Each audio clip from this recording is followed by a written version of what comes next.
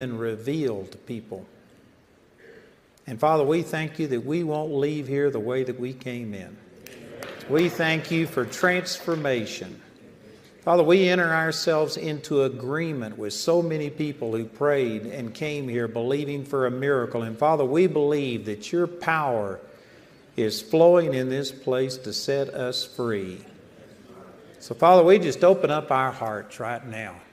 I know that many of you came from all different walks of life. You've got all kinds of things. You may have had problems getting here, but right now you just need to set everything aside and allow the Holy Spirit to touch you and to do what He brought you here for. It's bigger than what you think. Father, we welcome this and we believe that you are opening up people's hearts. Father, we believe that any hardened hearts, any people that have lost hope, Father, we believe that your power is flowing in here. We just agree right now and release the anointing and the power of the Holy Spirit to melt and to break through people's hearts. Thank you, Jesus. Thank you, Jesus. Hallelujah. Praise God. Father, we agree and we receive this in the name of Jesus. Man, I just want to serve notice on the devil that it's, you, it's going to be hard for him to stay in your life during these next couple of days. Man, we believe that bondages are being broken and that the anointing of God is going to set people free. I believe that even as you come on this campus, that man, the anointing of God is going to be touching people, that people are going to be healed. If you need healing in your body, I believe we're going to see great miracles happen.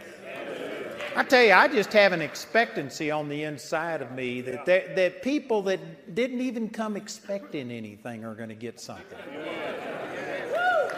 I don't know how this is going to work. But I'm telling you, God is going to break through some hard hearts. Some of you that thought that, man, you've gone too far and you came here not expecting anything, you came here to pacify your wife or to pacify somebody else who brought you. I'm telling you, there, there's going to be some breakthroughs. I just want to speak hope into your heart. Lord is speaking to me that some of you came here really just thinking that, man, it's, it, we're too far gone. You didn't expect anything. You need to get your hopes up. Some of you have been hurt so many times you're afraid to get your hopes up, but you need to. You know, the Bible says in Hebrews chapter 11, verse 1 faith is the substance of things hoped for, the evidence of things not seen. Faith gives substance to what's hoped for. The very first step, some of you are saying, I can't believe God. And things are too bad. I can't believe that something's going to happen. Well, just start hoping. Amen. Get your hopes up, and then faith will kick in once you get your hopes up. But you've got to start, you got to open up your heart.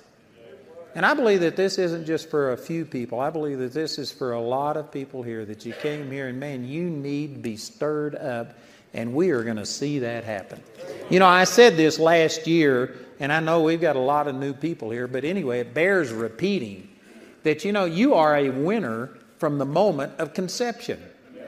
You had a million brothers and sisters fighting for your mother's egg, and you won. Amen. You won from the moment of conception. God created you to be an overcomer. And you know, the sad thing is, most people get that, that attitude beat out of them. We had a man that came up right here. He was at one of our services. He's the one that runs the Colorado Springs Christian School, and they have a branch of that here in Woodland Park.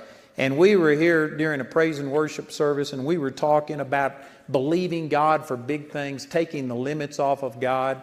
And I remember Roland came up on stage to make a promotion for the Colorado Springs Christian School. But before he did it, he made this point. He says that, you know, he has from uh, preschool, I think, through uh, 12th grade or high school. And he said that when he asked the first year, uh, the first grade students, how many of you are artists? And he said every single one of them raised their hand that they were an artist. And he said he saw some of their artwork and uh, it wasn't very good. But every one of them believed that they were an artist. But by the time they got to 12th grade, he said, How many of you are artists? And I mean, it was just a few people. Now, it is true that some people are gifted and talented more, but see, that illustrates that you start off young and you just believe that, man, you can do anything. But then life comes along and we fail in things. You know, lots of, we're going to be talking about sports. We got Tony and JB here, and I know that they're going to be using a lot of sports illustrations. And there are some people that excel at sports, but there's others that don't. And because of it, you begin to think you just aren't up to the par of other people. And then other things happen, and man, we make all kinds of mistakes. I just read a book about a woman who was raised in a dysfunctional home and was told she was a loser from the word go and things, and it just shaped her whole life. She became an alcoholic, a drug addict, and uh, cut herself and self harm, and just terrible things happened. And the thing that turned her life around was somebody just speaking into her life and saying that you're a winner, that God intended for you to win, that this is nothing but the devil that's fighting against you. And anyway, my point is that we all start off optimistic, but things happen and it takes that hope away from people. But I'm telling you, hope is a powerful force. And I'm just feeling in my heart right now that there are people here that have let this hope go. And you may feel justified. You may think, but you don't know what's happened to me. I'm telling you, it doesn't matter what's happened to you. Jesus is greater than anything that has happened to you. The Bible says in Romans chapter 11, verse 6, that the gifts and the callings of God are without repentance. If God ever had a purpose for your life, God still has a purpose for your life. He doesn't change. It's without repentance. And you know, God is at least as good as a GPS system. You make a wrong turn and that thing will say recalculating. And it doesn't matter how far off track you get, that thing has a way to get you back on track. God has a way to restore every single person's life. Some of you have been through multiple marriages, you've been through bankruptcy, you've been through failure, you've been through uh, physical things, but God has a way to get you back on track. I've got a lot of things I'm wanting to say, but I just feel like, man, God is trying to get me. Uh, some of you stirred up. You came here expecting nothing. You're aiming at nothing, and you're going to hit it. Unless I can get you to start believing that God has a purpose for your life. Look over here in Jeremiah chapter 1. Let me share with you something that God spoke directly to me. Now, of course, in the scripture here, God spoke this to Jeremiah, but I can show you the place. January of 1973, the Kingsley Place Apartments in Dallas, Texas. I was going to bed, and man, back in those days, I could hit the pillow and be asleep before, you know, I even got comfortable. I mean, I just fell asleep. But I went to bed and I could not go to sleep. And we just had a one bedroom apartment. I didn't want to keep Jamie awake, so I, I went into the uh, living room and our, our little living room that we had, and I mean, God showed up. And I don't know, but for hours I was just on my face in front of God, and I was afraid to open my eyes because I wasn't sure what would happen. And a lot of things happened. I hadn't got time to go through all of it, but God spoke this to me. It was spoken to Jeremiah, but he spoke it to me. And, and the point is that God's no respecter of persons. If God spoke this to Jeremiah, if he spoke it to me, he, he can speak it to you. And look at this in Jeremiah chapter 1. And in verse 4 it says, Then the word of the Lord came unto me, saying, Before I formed thee in the belly, I knew thee. And before thou camest forth out of the womb, I sanctified thee, and I ordained thee a prophet unto the nations. Boy, there's a lot in this verse. Let me just point out a couple of things. He says, Before I even formed you in the belly, before you came forth out of your mother's womb, I knew you, and he already had a plan for Jeremiah. He had already ordained him. Brothers, I want to tell you that some of you think you're looking back at your life and you're looking at some of the things that have happened and the failures and the hardships, and you're saying, How could God use me? God chose you and had a purpose for your life before you were ever born. What has happened to you has nothing to do with God's opinion of what He wants to do with you. You may be looking at it and thinking, well, but how could He use this? God doesn't see you the way you see yourself. You know, over in Psalms 139, keep your finger here. I'm not through. Man, I've got so many things I'm wanting to share. It's hard for me to get this out. Psalms 139, real quickly, let me just share this with you. In beginning in verse 14,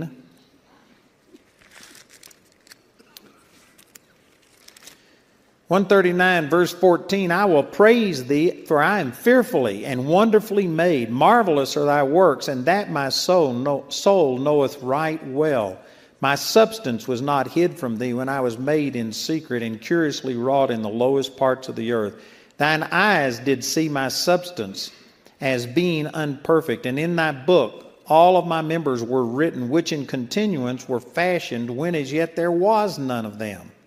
How precious also are thy thoughts unto me, O God. How great is the sum of them. You know that 16th verse, it's real wordy in the King James, but in the NIV. Does anybody have the NIV here?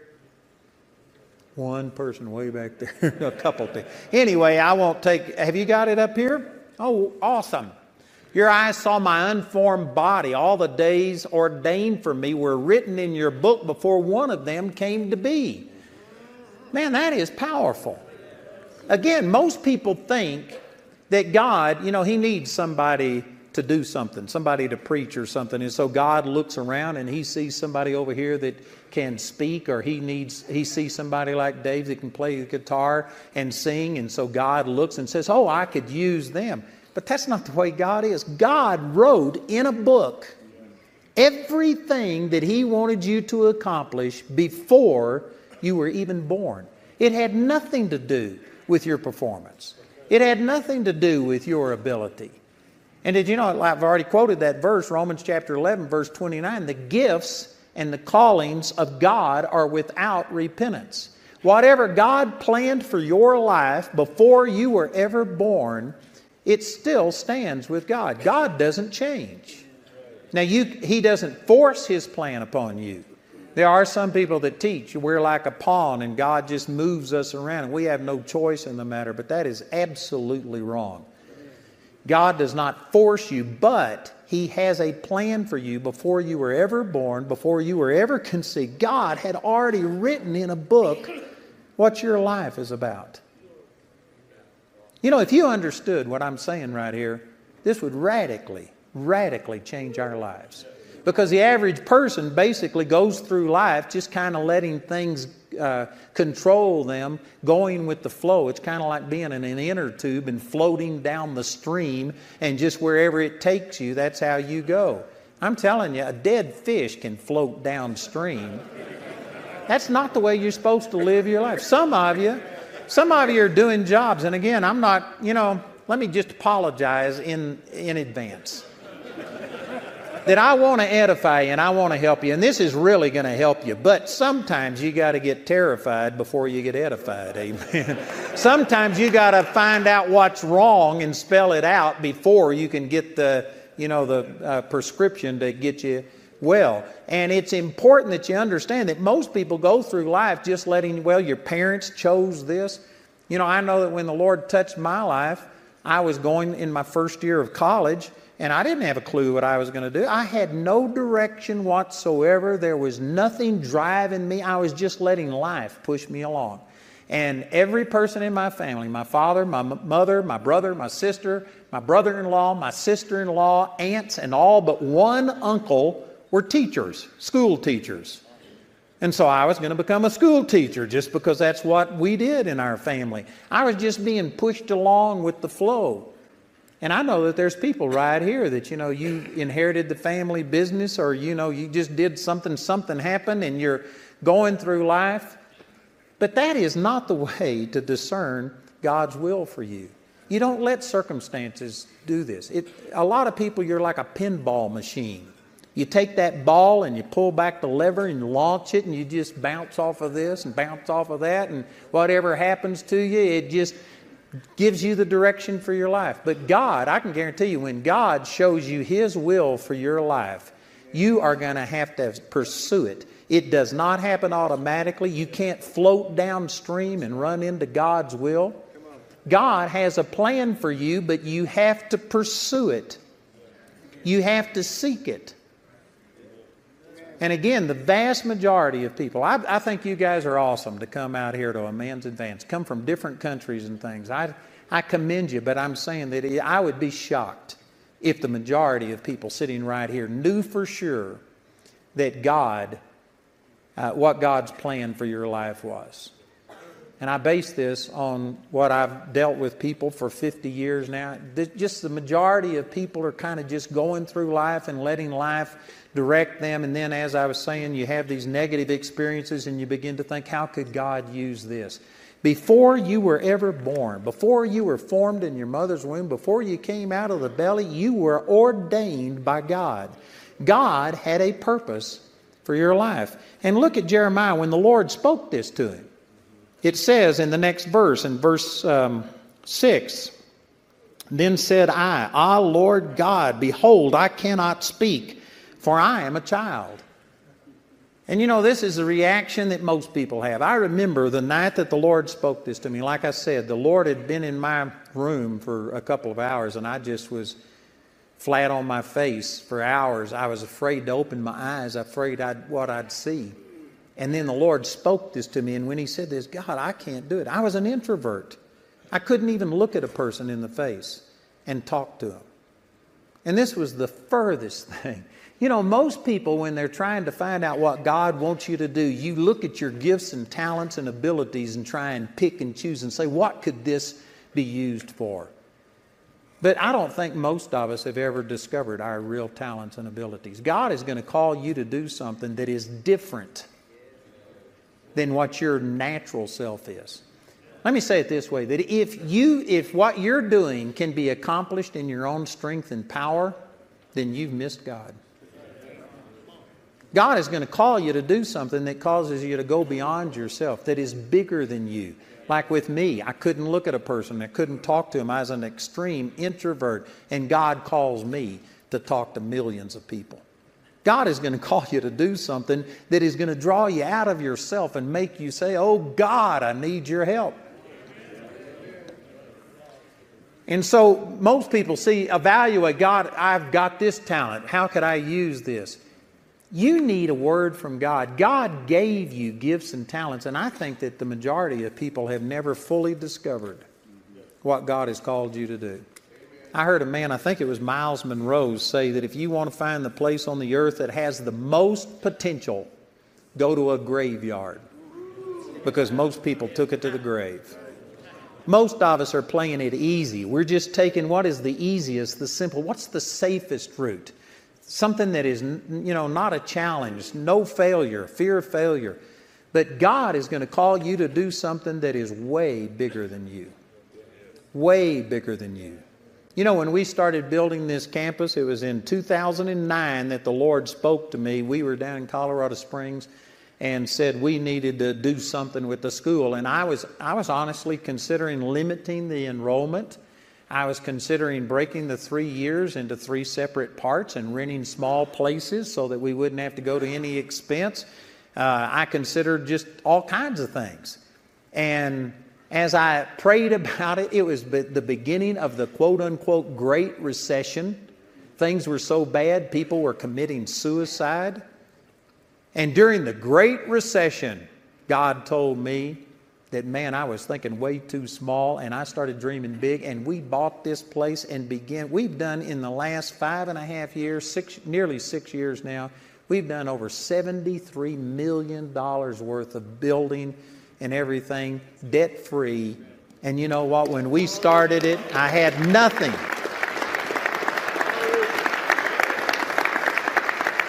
And you know what? I've still got nothing. We were just talking today about things, and I've, we're committed to moving into this building before the school year starts. I've already invited people for the dedication November the 3rd, but at the rate we're spending money, it'll be 2019 before we get through. So I don't have the money to do this. I've never had the money to do anything I've ever done. I'm telling you, God is going to ask you to do something that pulls you beyond yourself. And yet, most people, they just look at what they can do and they limit God. Uh, Jeremiah said, God, I can't speak. And look at what the Lord said to him. The Lord said unto me, Say not, I am a child, for thou shalt go to all that I send thee, and whatsoever I command thee, thou shalt speak. Be not afraid of their faces, for I am with thee to deliver thee, saith the Lord. Then the Lord put forth his hand and touched my mouth. And the Lord said unto me, Behold, I have put my words in thy mouth. See, I have this day set thee over the nations and over the kingdoms to root out and to pull down and to destroy and to throw down and to build and to plant. And the Lord went on and spoke to me. Actually, the Lord kept speaking to me all the way over here to chapter 5 and verse 14. And this was another thing He spoke to me that same night. And it says, Wherefore, thus saith the Lord God of hosts, because you speak this word, behold, I will make my words in thy mouth fire, and the people wood, and it shall devour them. And so this night, God told me, don't ever say you're a child. And you know what? There's been a million times that I said, God, I'm not up to it, but I've learned to keep my mouth shut and not to say it. And I really, God touched my mouth that night.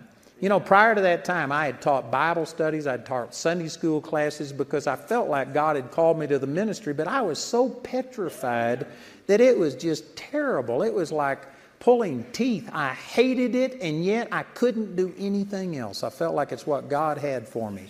And uh, the very first meeting I ever held, it was a three day meeting. I went and bought a book and I memorized three messages for this three day meeting. And I got so nervous, I preached all three of them in the first five minutes of the first service.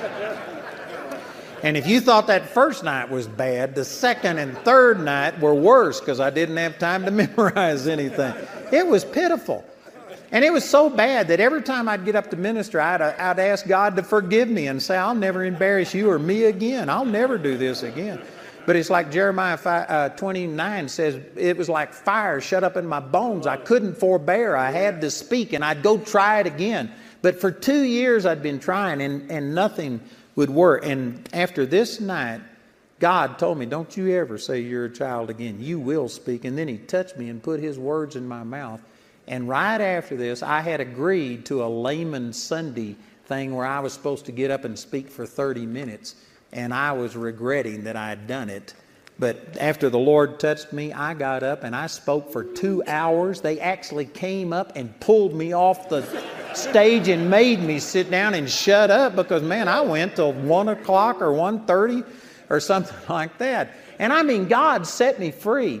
So my point is, God is going to call you to do something that is based on what His plan for you is, what He wrote in your book for you long before you were ever born, long before you had ever done anything. It's not based on your talents as you see them right now.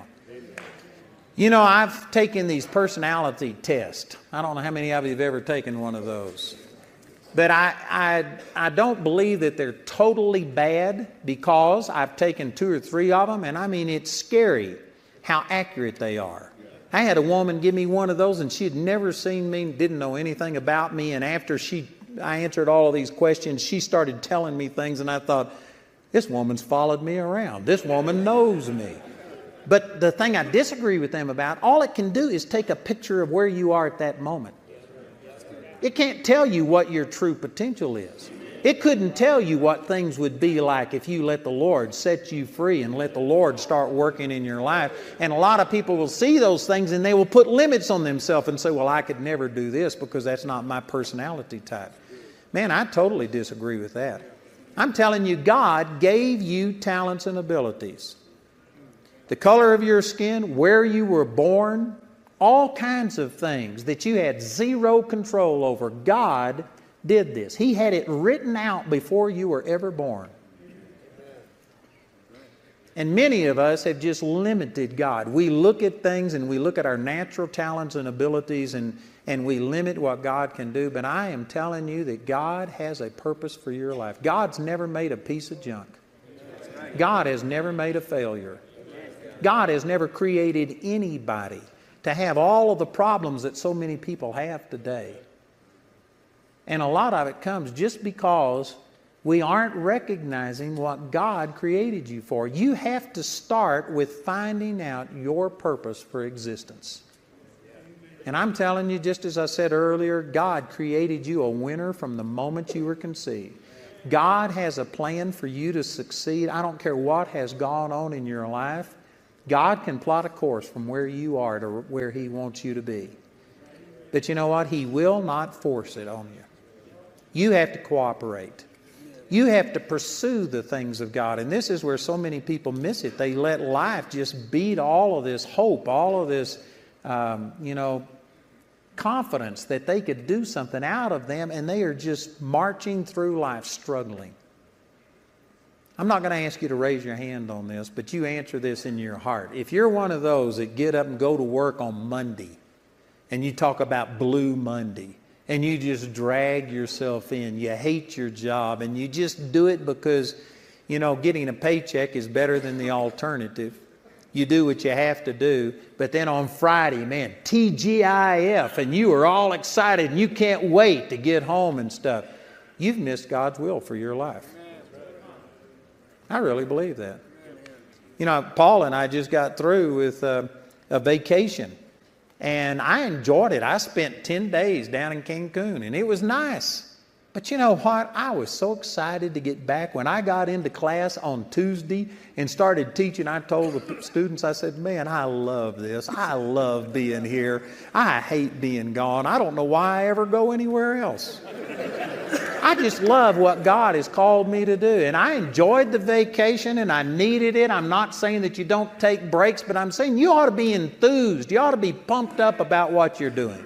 If you have to drag yourself to work, if you're having to force yourself to go through things, you have not found God's will. Or if you found it, you let the devil take you out of faith.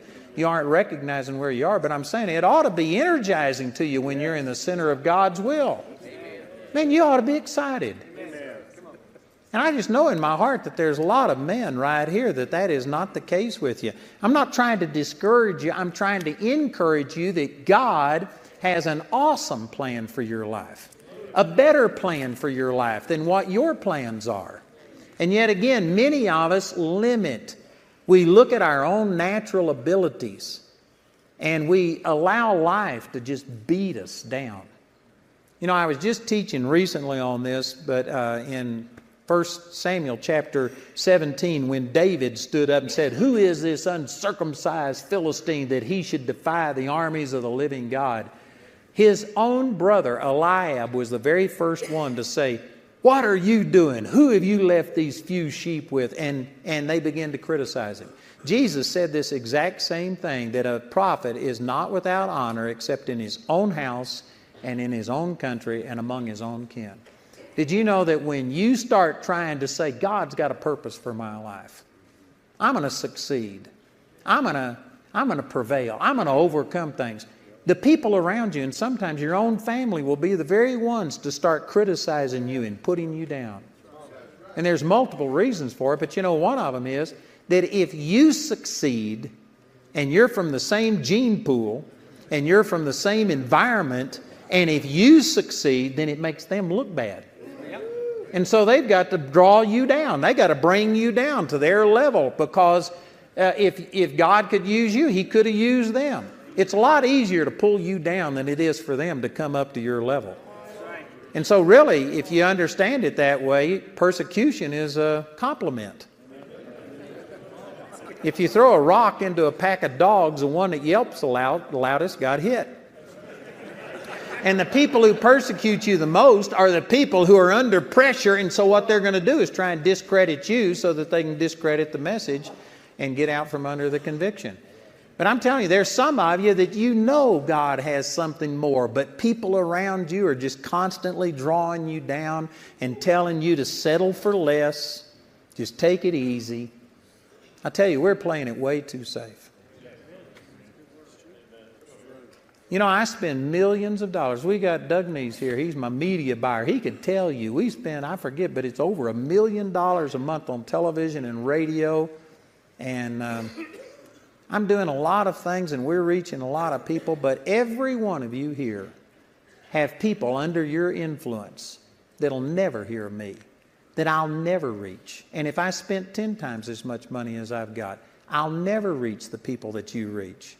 And if you don't reach your potential, if you don't start thinking bigger, if you don't let God inspire you and show you something, then there's all kinds of people that are going to fall through the cracks. You're the one that has their miracle. You're the one that God wrote in His book that you were supposed to touch those people that you work with, the neighbors that you live next to, your family members. You're the one that it's written down that you're supposed to reach them. I can't reach them. And if you don't reach your full potential, there's going to be people that'll die and go to hell. There'll be people who'll stay sick. There'll be all kinds of things that'll happen if you don't reach your potential. Brothers, every one of you in here is important. One of the big mistakes we've made in the body of Christ is to put certain people in the clergy, and they're the ones that God is going to use, and all we do is just warm a pew and wait on them to do everything. You know, I don't know how many people we have here, but it's well over a thousand, twelve, thirteen hundred, or whatever. And you know, if every person in here was to get fired up this week and to start believing God and start walking with God and let God flow through you and give you creative ideas, and if you started living up to your full potential and doing those things that were written in God's book before you were ever born, I guarantee, I believe that this could change the entire nation. There's lots of people that you influence. If we all went back to our sphere of influence and were living this, it would make a radical difference. And again, some of you are thinking, oh no, I don't have that kind of influence. You would if you were walking in the supernatural power of God. You know, Jesus said, if you're believing on Him, the works that He did, will you do also, and even greater works than these. And this isn't talking to just preachers. It says if you are believers, if you believe on Him. I guarantee you, if every one of you went out of here and raised somebody from the dead, we'd have all the revival we could handle. But what we do is we're spending our time praying and saying, Oh God, move. Oh God, do something. And God's praying that you'll move. Yeah. Amen. He's praying that you will find out your potential, that you'll begin to start living up to it. And again, brothers, you could touch people that I'll never touch, that these other pastors here will never touch. It is just imperative that you begin to live up to what God called you to do. And I know some of you are thinking, man, this is just putting condemnation on me and showing me that I'm a, a loser. I haven't done what God wants me to do. That's not my intent.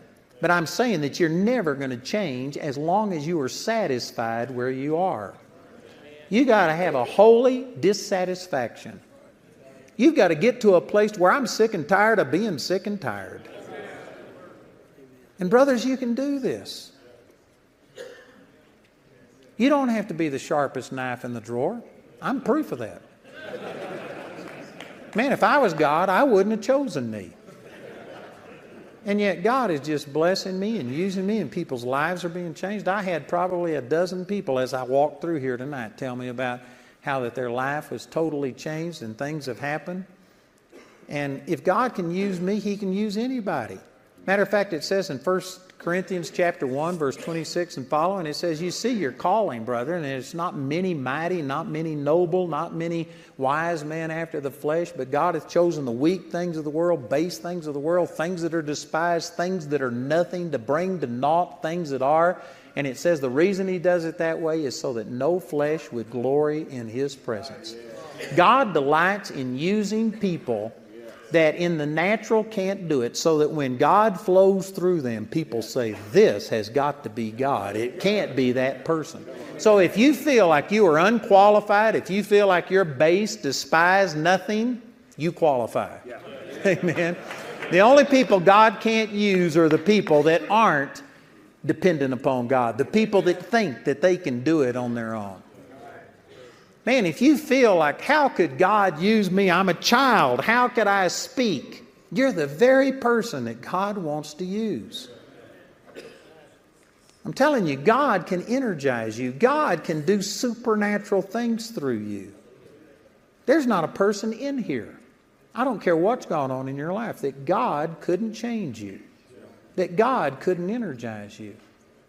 But it's not going to happen with you just floating downstream. It's not going to happen with you just going through life and letting circumstances control your life. You are going to have to take control. You are going to have to start seeking God. And you know, the very fact that you're here, means that, man, you are seeking God, or either somebody who is seeking God drugged you here. One of the two. But you aren't the nod to God crowd. You are here looking for something more. And you just need to do this not on, in spurts. You know, the scripture says the just shall live by faith. You don't need to visit there, vacation there, just go to a man's advance one time a year. You need to live by faith. This needs to be the way that you are constantly seeking God. And I promise you, when you do that, it says in Jeremiah chapter 29, verse 11, I know the thoughts that I think towards you, says the Lord, thoughts of peace and not of evil, to give you an expected end. The NIV says a hope and a future. That verse is confirming everything I'm saying. God ha- has good thoughts towards you, thoughts of peace. God never created a single person to fail. That is not what He wrote in your book. That is not written down. That is not God's plan for a single person. His thoughts are peace towards you, to give you an expected end. I like the NIV when it says a hope in a future, but I, I like the King James. Because you know, when it says you have an expected end, that means that I know what my end's going to be like because I've been seeking God, and He said He's a rewarder of those who diligently seek Him, and so I know that I'm going to win. I can expect that. I don't have to just do the best I can and hope that it works out. Man, I have an expected end. I'm not going to go out with a whimper. I'm going to go out with a shout. Yeah. I'm going to say with the Apostle Paul, I've run the race, I've finished my course, and I know that there is a reward for me. I'm expecting that. And then right after that, in verse 12, it says, And you shall seek me. This is verse 13, I think. You shall seek me and you shall find me when you shall search for me with all of your heart. All of your heart. There are people that will seek the Lord in spurts, and if your back's up against the wall and you know that you can't pull this thing out on your own, you'll ask God to help you temporarily. But God looks on the heart. 1 Samuel 16, 17. God looks on the heart. He knows whether you are, you know, giving it everything you've got or not. But when you seek with all of your heart, you'll find Him. I've had people tell me, Well, I asked Him, nothing happened. Well, God is waiting on you to seek with all of your heart. Here's another way of saying it. As long as you can live without knowing God's perfect will and without you fulfilling God's perfect will, you will. But when you reach that place to where I've had it, I'm not living this way anymore. God will come through. But you have to seek with all of your heart. You know, Moses was seeking the Lord and he says, Oh God, show me your glory. And God says, I will be with you and I will go with you. And Moses is Exodus chapter 33, I believe. And Moses said, Lord, if you don't go with me, I'm not moving. That's where we need to get to be. God, I'm not going to go through life. I'm not just going to do what everybody else is doing. I'm driving a stake right here and I'm not moving until I know what your will is. And you know, the good thing is, it says in Ephesians chapter 5 that be not ignorant, but understanding what the will of the Lord is. That's a command. Right after it's talking about don't be drunk with wine, wherein is excess, but be filled with the Spirit. It says don't be ignorant, but understand what the will of the Lord is. The Lord wouldn't have given us that command if He didn't want to reveal His will to us. God wants you to know what His purpose for your life is more than you want to know it. But it doesn't get revealed to us when you're passive, when you're weak. You've got to become aggressive. You've got to get to where you pursue the things of God. I can guarantee you this, brothers, that it's not God who has failed a single person in here. God is faithful. But it says there is a way that seems right unto man, but the end thereof are the ways of death. It says in Proverbs chapter 3 Trust in the Lord with all of your heart and lean not unto your own understanding. In all of your ways acknowledge Him, and He shall direct your paths. The only reason that we aren't all experiencing God's best in our life is not because God doesn't have a plan and not because God isn't faithful. It's because we have done it our way. Us and Frank Sinatra. We did it our way. Let me ask you, how's that working? I can guarantee you, brothers, that any problem that we've got in our life, it's because you did it your way. And I know that there's some people saying, no, that's not true. I've got sickness in my body and I didn't have a thing to do. I didn't cause sickness. Man, I hope you'll track with me right here. Some people don't can't connect these dots. But it's true. That you know what? You may not have thought, all right, I want to have cancer. All right, I want to have this sickness. I want to have poverty. I want to have this. You may not have asked for it. You may not have gone out and have planned on it, but you were thinking like a mere human being, thinking, I'm only human. And thinking that cancer is incurable, and well, it's flu season, and so, it, you know, it, you just got to get sick. That's wrong. It's wrong thinking. You may not have thought ways that, it, that brought it because you asked for it, but when it came, because we live in a fallen world, you were thinking in a way that limited what God could do. You accepted the sickness, you accepted poverty, you accepted these things. It says in Romans chapter 8, verse 6 to be carnally minded is death, but to be spiritually minded is life and peace. Man, that, that didn't say that carnal mindedness produces death for some people, sometimes. No, it's just, it's an equation. Carnal mindedness equals death. Spiritual mindedness equals life and peace. And so, based on that scripture, I can say that if you are experiencing death, any form of death, this doesn't have to be ultimate death where you quit breathing and we go to be with the Lord, but you know, depression is death. Anything that came as a result of sin is death. Romans 6:23, the wages of sin is death. Anything that came as a result of sin, poverty, depression, sickness, sorrow, grief, bitterness, unforgiveness, uh, anything you want to mention, if you are experiencing any form of death, it's because you were carnally minded. Again, that doesn't mean that necessarily you're a terrible person, but you're just thinking like a natural, normal person. You aren't just natural. If you are born again, you are a brand new person on the inside. You are now have the Spirit of God living on the inside of you. If you don't have Jesus living in you, we're going to give you an opportunity to fix that tonight. Amen. But if you are born again and have the Spirit of God on the inside of you, well, then you are a world overcomer and you should be able to see this power manifest. It's already there, but you've got to think that way. And the problem is, man, this is frustrating to me because I would like to say five things all at the same time. Let me share this with you out of Galatians chapter 5. I'm going to give you your answer to whatever your problem is, real quickly. So it's going to be so simple, some of you are going to think, oh, oh, no, that's not my problem. It's more complex than that. This is how simple it is right here in Galatians chapter 5 and in verse 16. This I say then walk in the Spirit, and you shall not fulfill the lust of the flesh. That's how simple it is. Whatever problem you've got, it's your flesh that's the problem. Now, I'm aware that not everybody here is on the same page. The Bible, when it's talking about flesh, isn't talking about skin like what we often talk about. The word flesh, the Greek word is sarx, and it's you can go into a lot of things, but it basically is talking about your physical body and your soulish part that isn't renewed, that's not redeemed yet. Uh, when you got born again, you were given a brand new spirit. And in the spirit, you are a completely brand new person, but we have a mind that didn't instantly change.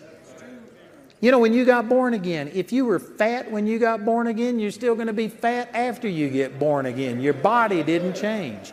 And you know what? Before you got born again, you had your memories and you had things that happened to you, and your mind was filled with all of those things. When you get born again, your mind doesn't instantly change. You still got the same mind. You got your memories, not my memories.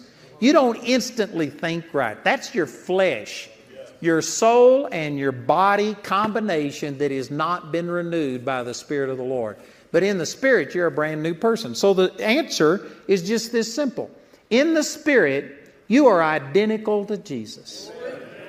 You got His attitude, you've got His ability, You've got the same power that raised Jesus Christ from the dead living on the inside of you. Ephesians chapter 1, verse 19, 18, and 19, he's praying that your eyes would be open, that you would see the exceeding greatness of his power towards you. The same power that raised Jesus Christ from the dead. Brothers, you still you have the same power on the inside of you that raised Jesus from the dead. That ought to be enough to handle whatever your problem is. The average Christian says, Oh God, I know that you're all powerful. I know that you can do anything. Oh God, would you please move? You know what? You're thinking carnally. You're thinking that you're just a mere human being and that you can do nothing, and so God, would you please move? You've already started from unbelief. Because if you've been born again, you are now a new person in Christ. You have His power and authority. The Lord told you to resist the devil, and he will flee from you, not from God. He placed His power in you. You are the mobile office of Jesus. You have His power and authority, and you have to resist the devil. You have to release this power. Instead of saying, Oh God, stretch forth your hand and heal this person, He says, You lay hands on the sick, and they shall recover. He says, You go cast out devils, heal the sick, cleanse the lepers, and raise the dead. He told you to do it. And some of you are thinking, I could never do that. You're carnal. You are looking at the flesh. You are looking at yourself. The key to the Christian life, any problem that you've got, it's because you are approaching things out of your ability, out of your intellect, out of your power. But I'm telling you, brothers, it's just simple. When you get born again, you become a brand new person and you have the life of God on the inside of you, you can do anything, anything, anything that God wants you to do. There is no limit when you are walking in the Spirit instead of walking in your flesh, in your own mental ability, in your own physical strength. And you know, this is one of the liabilities of guys. Guys just think, you know, we're tough. We can do this. Women, as a whole, I know there's a lot of women watching tonight, but as a whole, women recognize their frailty more than men. They aren't trying to be macho. Now, sad to say, well, you see role reversals and Things are changing, but I'm saying as a whole, women are more receptive to realizing their need for God. And that's why women tend to turn to the Lord quicker than men because men are going to take care of it themselves. They're going to do it their way. Man, we had Jeremy Pearsons uh, minister with us in uh, January, and he preached an awesome, awesome message on who cares. And it was all about you're supposed to cast your care over on the Lord. And he was talking about who cares. And anyway, there were some great examples that he gave, but who was this that got up and, man, I wished I could remember who this was. But anyway, he was preaching on all of this, and somebody just got up and said something about that they can handle it. I can handle this. It's just like when we're trying to go someplace. Women will ask directions, but guys, no, I got this. We don't want to admit that we haven't done it. You know what that is? That's the flesh. When you are trusting in yourself, it limits the power of God flowing through you. You need to get to a place where you recognize that you are awesome in your spirit, man, but your flesh is not that good. It says in John chapter 6, verse 63 it's the spirit that quickens, the flesh profits nothing. The words that I speak unto you, they are spirit and they are life. Did you know that's what Jesus said? Most guys, and this isn't limited to guys, but I think especially guys, most guys think that your flesh is awesome. That there's things you can do, that you are confident, you aren't going to admit failure, Jesus said, Your flesh profits nothing. He didn't say it profits a little, He says it profits nothing. You've got to get to where you walk in the Spirit. In the Spirit, you're perfect. In the Spirit, your spirit is as perfect right now as it's ever going to be in eternity. You aren't going to get a new spirit in eternity. You're going to get a glorified body and a renewed mind, but your spirit is as perfect right this moment as it will ever be. It says, As Jesus is, so are we in this world. 1 John chapter 4, verse 17. That's not talking about your body. Your body's going to have to be changed. That's not talking about your mind. Your mind's got to be renewed. But in the spirit, you are identical to Jesus. 1 Corinthians 6 17. He that is joined unto the Lord is one spirit. Your spirit is as perfect, as pure as Jesus. 1 Corinthians 2 16 says, You have the mind of Christ. Some people will say, Man, I don't. I can't even find my glasses sometimes. I, I forget all kinds of things. That's talking about this peanut sized brain up here. But in your spirit, you have a mind. You know all things. First John chapter 2 verse 20, you have an unction from the Holy One and you know all things. Man, I'm putting out a lot. It's taken me decades to learn these things and I'm just spewing it out and expecting everybody to get it. Let me give you an example that, you know, when we were building a place down in Colorado Springs, long story, but I needed $3.2 million to finish that building. And for nine months, the banker told me, You'll have your money next week. And he told me that every week for nine months. And finally, at the end of nine months, we had a meeting with him, and he says, You know, it's been so long, let's just start the process over. Let's get a new appraisal and start over. And all I could see was nine more months. And I said, This isn't right. And so I said, Time out. I'm going to pray something's wrong. And so I went home, and there's a scripture that says, when you pray in tongues, it's your spirit praying. 1 Corinthians 14 14 and 1 Corinthians 14 13 says, when you pray in tongues, pray also that you interpret. So your spirit is the part of you that has a mind to Christ. This isn't talking about your physical mind. In your spirit, you have a supernatural ability to know the things of God. And when you pray in tongues, you're praying the hidden wisdom of God. 1 Corinthians chapter 2, verses 6 through 9. You're praying the hidden wisdom of God. So all you got to do is pray that you interpret. So I said, I'm going to find out what's wrong. And I said, I quoted those verses and I said, Father, I'm going to pray in tongues and I'm, I'm asking you to give me an interpretation. And I didn't get much further than from here to the back of this auditorium before God reminded me of a prophecy that I'd gotten two years before that I had just forgotten. And it says, in all of these things that God was leading me to do, He says, You aren't going to need to take out a loan. And I remember when they said this, you know, Dennis was, was there and heard this. And um, says, You won't need to take out a loan. And I was thinking, why not? And he says, because you got a bank.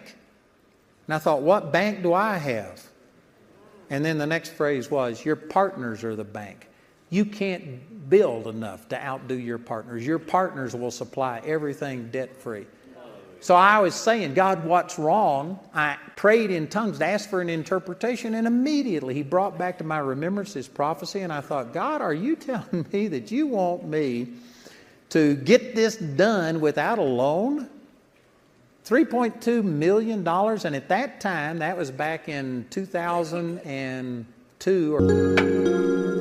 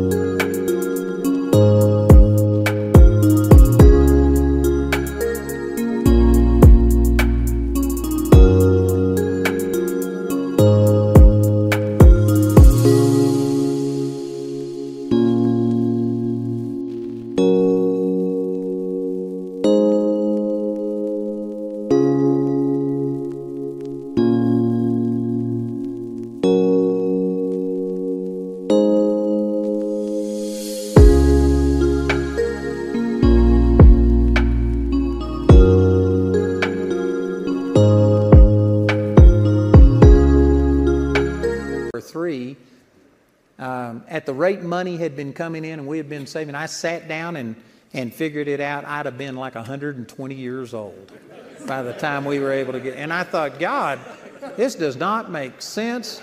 Something's going to have to change. Am I sure this is you? And yet, every time I prayed about it, I just had more excitement about this. And so I made a decision. I said, you know what? If they come and offer me all the money I need tomorrow, I refuse it. I'm going to do this debt free. Sure enough, the next day they said, all right, you're approved. We got it for $4 million. They said, you need more than the 3.2. And they approved me for $4 million. And I said, you're too late. And I turned it down.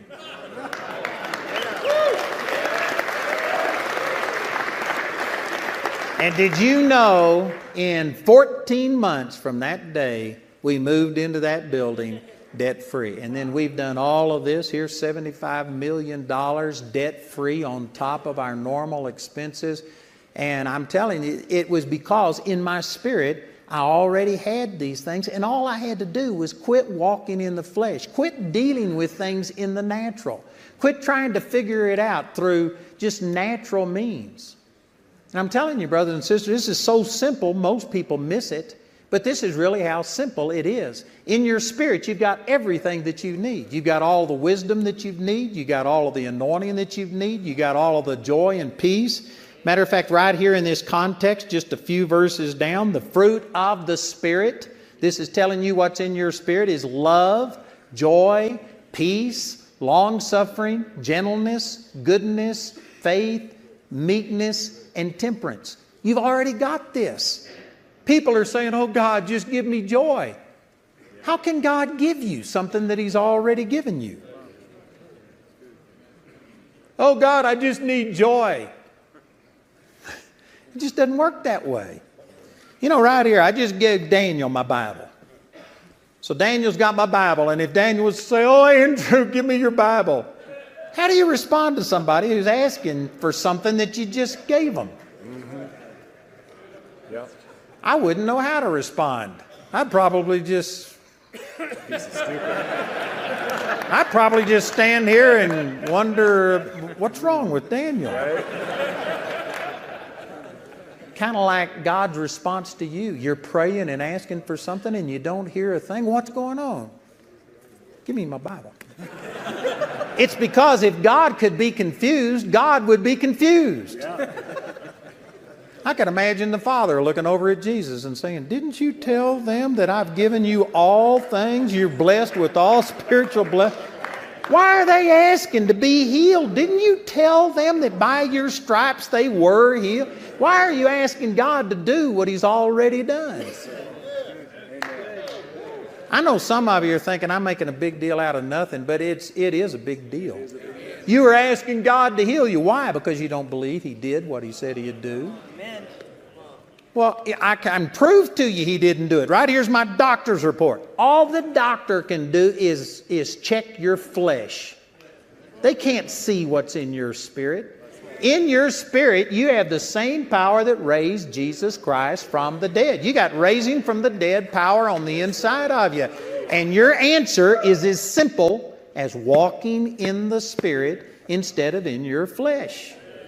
But my flesh hurts. Well, forget it. Don't let your flesh dictate. Well, how can I do that? Man, you have been empowered to live in the Spirit. God would be unjust to tell you to walk in the Spirit if you can't do it. Well, what is walking in the Spirit? Some people think it's walking around with your hands folded like this or your collar turned around backwards. That's not walking in the Spirit.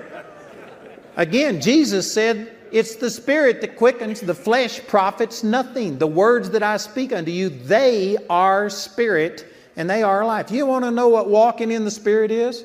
It's walking in the Word. What does the Word say? The Word says, by His stripes you were healed. Not are going to be healed or can be healed. You were healed.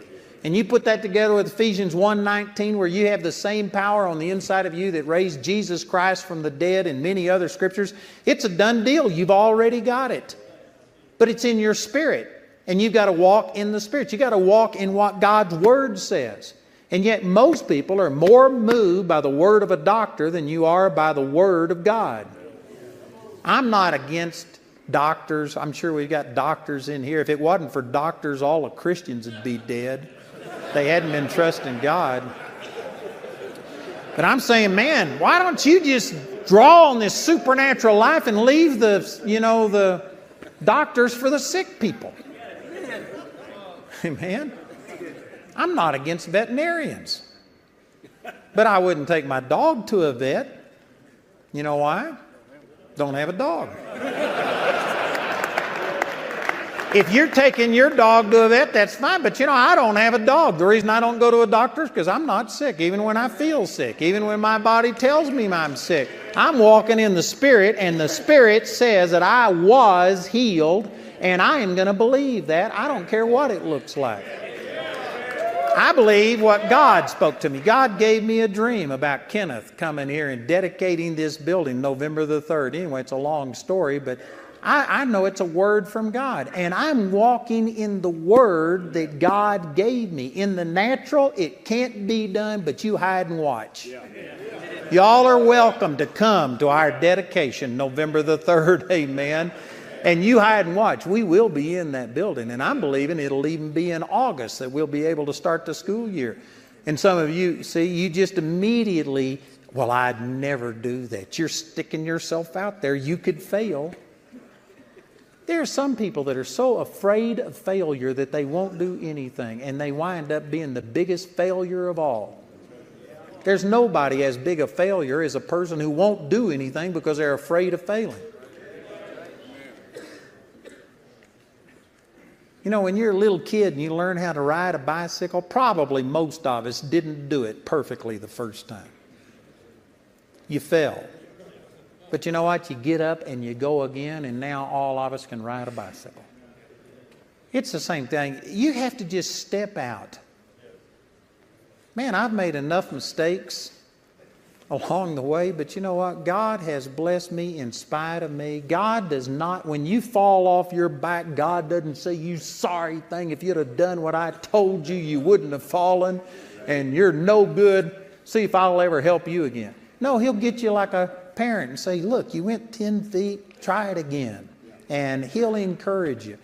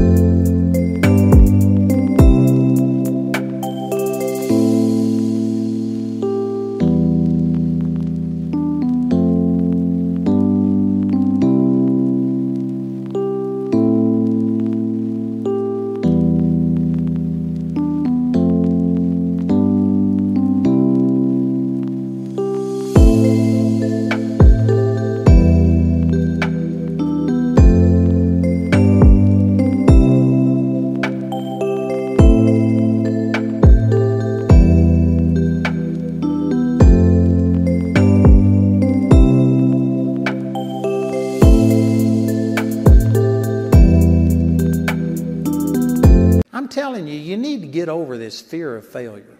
The biggest failure of all is when you do nothing. That's a failure.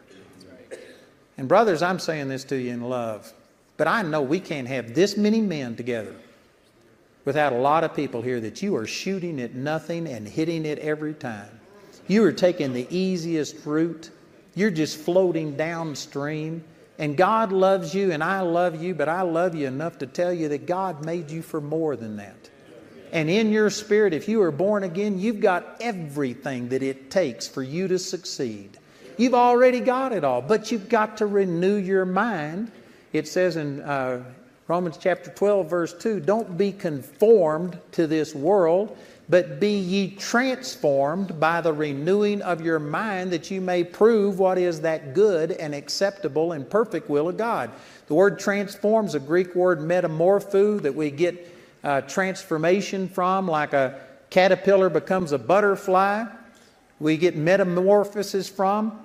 And if you want that kind of change in your life, it comes by the renewing of your mind. And you do that through the Word of God. The Word of God is spirit and it is life. And as you start basing your life and everything on what God's Word says instead of what your flesh feels, then you are walking in the Spirit and this supernatural life of God will flow through you.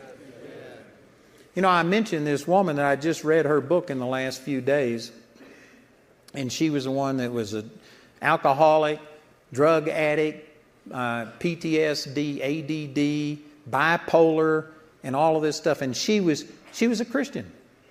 And for I don't know what period of time, but over a decade, she dealt with this stuff and she was trying to overcome these things and couldn't do it. She actually took a um, razor blade and cut in her stomach. I hate me.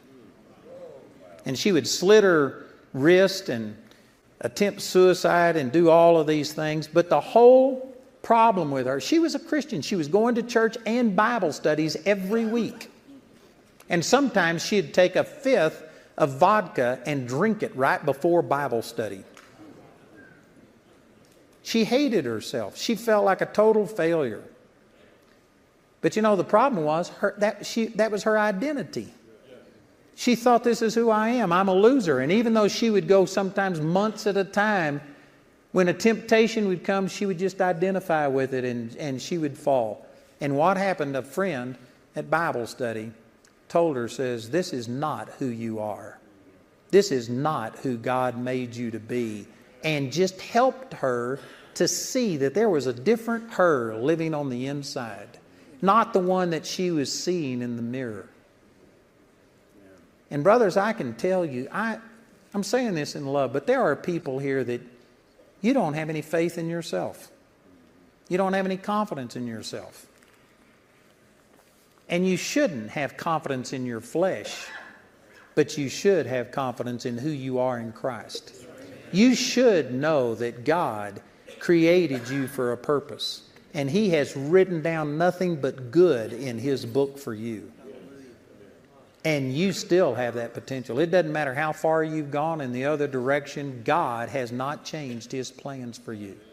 And when you get born again, that old person leaves and you are a brand new person on the inside. You need to get delivered from yourself.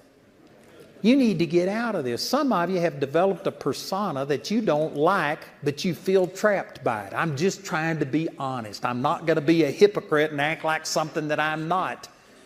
Well, it's because your identity is in the flesh. But you are perfect in your spirit. You are a brand new person in your spirit. It just depends who you consider to be the real you.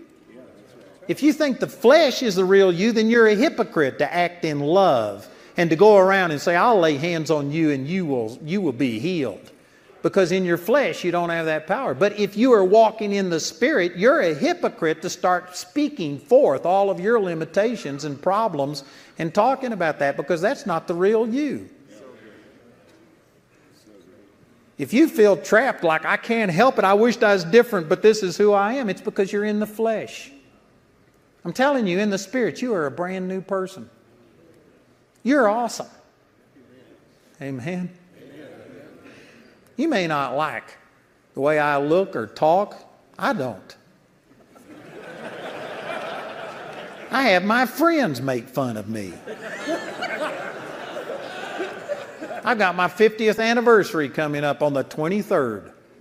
And people from all over the world sent me greetings, and every one of them would say something and say, Well, Andrew called and said, Hi there, how are you? And they make fun of my voice. You know what?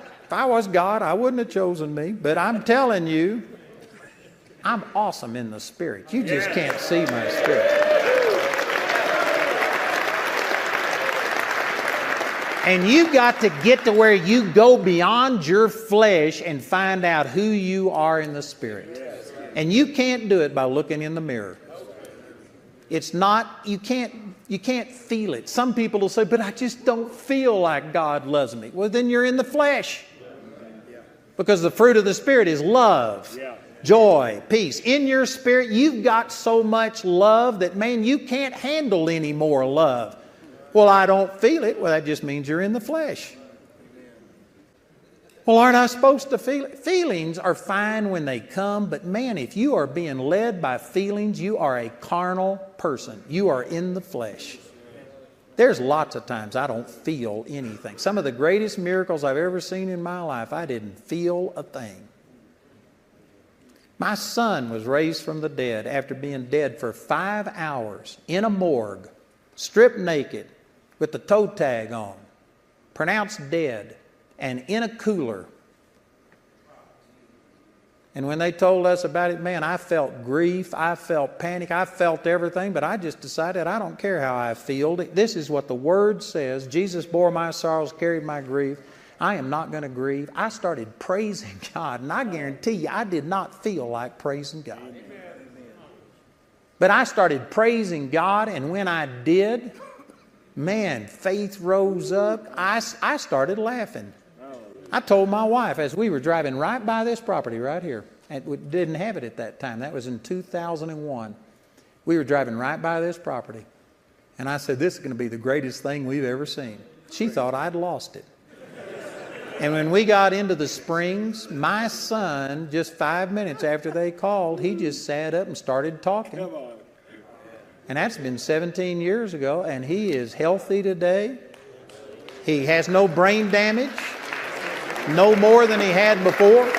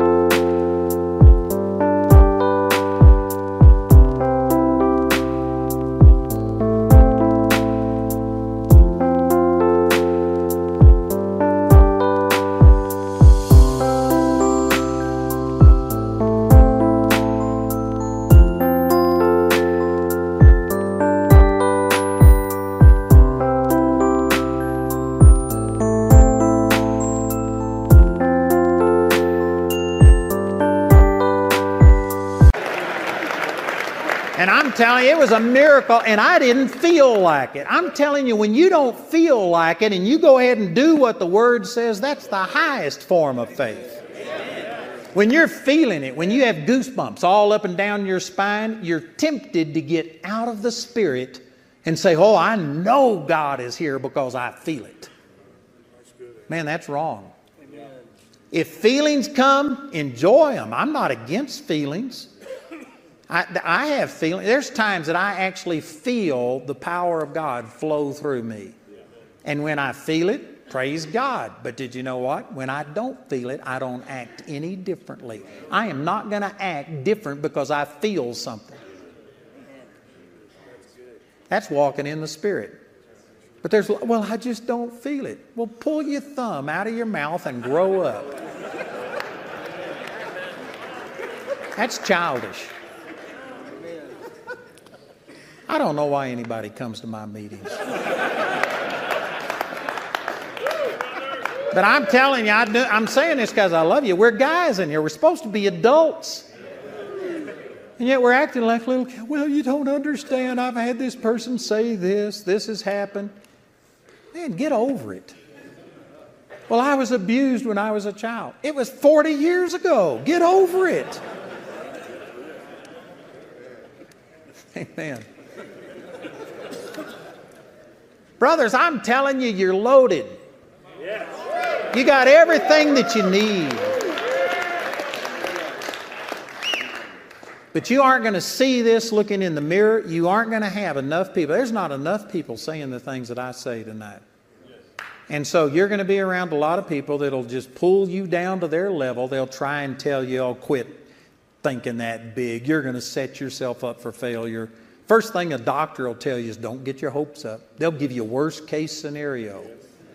Man, the very thing you need to do is get your hopes up. The whole world system is against everything I'm talking about. You aren't going to get this in very many places, the only place you can consistently get this is through the Word of God. You're going to have to get into God's Word, which is spirit and, and life, and you are going to have to meditate on this until you see yourself differently. And there may be things in your flesh, and I'm not talking about just your physical body, but in your emotions and in your actions and things that you don't like. But I can guarantee you, your spirit is perfect. And if you could ever start seeing who you are and say, This is who I am, and this is the way I'm going to live, brothers, you'd go home different. You would be a different person. Some of you were raised that, well, we just don't show much affection. We just are, you know, tough people. We don't express our emotions and stuff like that. That's your flesh. In the spirit, you're full of love and joy and peace. And you ought to start just acting like you are who God says you are. You ought to go and just lay hands on people because the Bible said believers will lay hands on the sick and they'll recover. And without having any kind of light, blinding flash of light, just do what God's Word says, and it would shock you what would happen.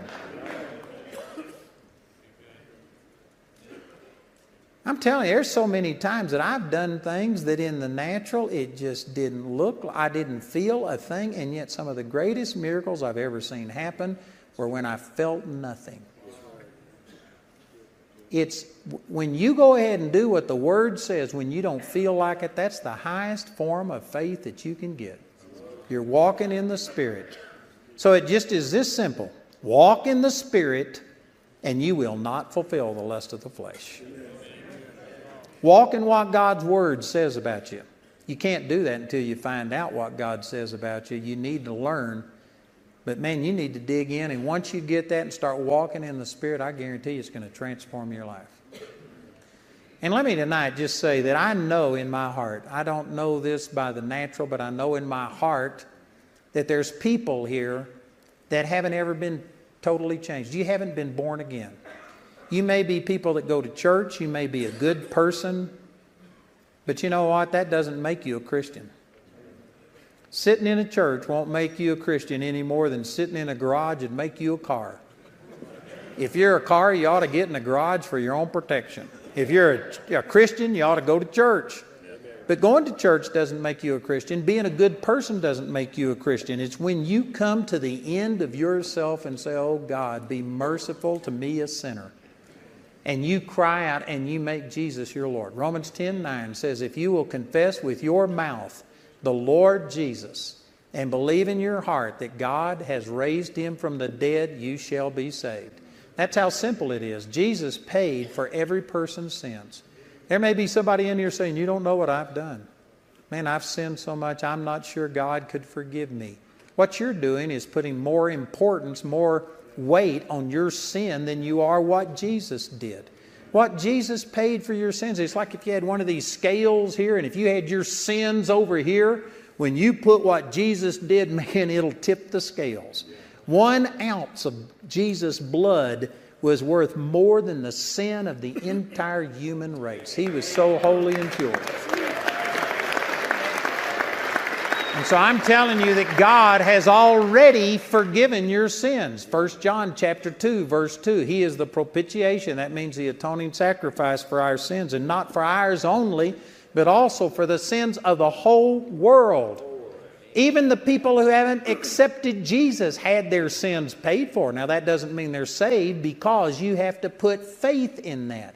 It says, Ephesians 2 8, by grace are you saved through faith. You have to believe that, you have to yield to it. But I'm telling you that your sins aren't too bad. Jesus has already died, He's already paid for your sins. It's not a matter of will Jesus forgive you, it's a matter of will you make Jesus your Lord. And when you do that, you become a brand new person. And everything I've been talking about tonight, you change on the inside. And the rest of the Christian life isn't trying to get more from Jesus. The rest of the Christian life is renewing your mind to what you already have. The moment you get born again, man, you are as perfect and pure as you will ever be in heaven. but it's only in your spirit. And you've got to renew your mind so that what's in your spirit, man, can get out into the flesh. That's walking in the spirit. But if you haven't ever done that, if you've never made Jesus your Lord, you've got to be born again first. You've got to receive this changed life. You've got to have a new identity. You need a new identity.